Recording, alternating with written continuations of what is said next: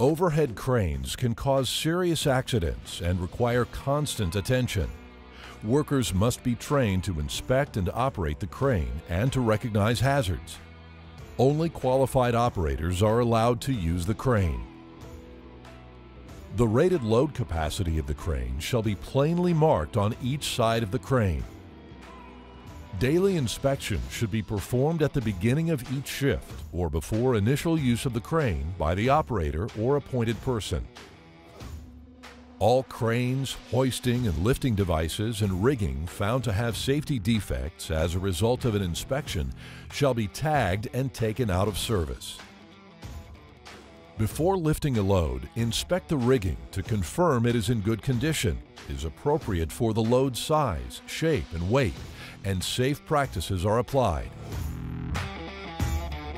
Refuse to make a lift if you are unsure of any issues.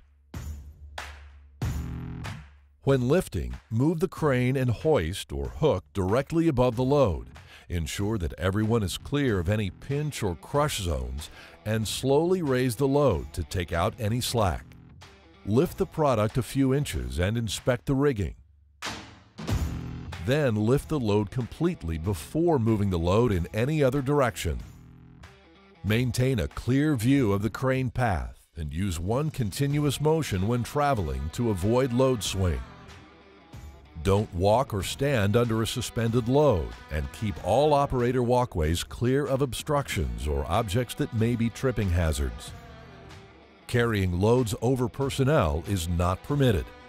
The crane warning signal or horn must be sounded when the load or hook comes near or over personnel. If you must leave the area, lower the load to the ground before doing so. Always raise the crane hook above head level when the crane is not in use.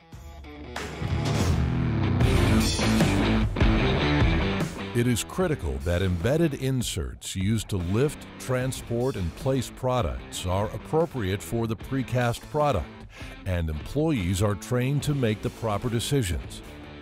The type, placement, alignment, and number of embedded devices should be specified by an engineer. Weight and shape of the product, among other factors, should be accounted for. Follow suppliers' recommendations for installation and engagement. The capacity of commercial lifting inserts should be marked on the devices or on materials provided by the supplier. Avoid subjecting the precast piece being lifted to excessive dynamic loading, such as traveling over a bumpy area or shock loading. The concrete product should reach its designed stripping compressive strength before stripping from the form and lifting it.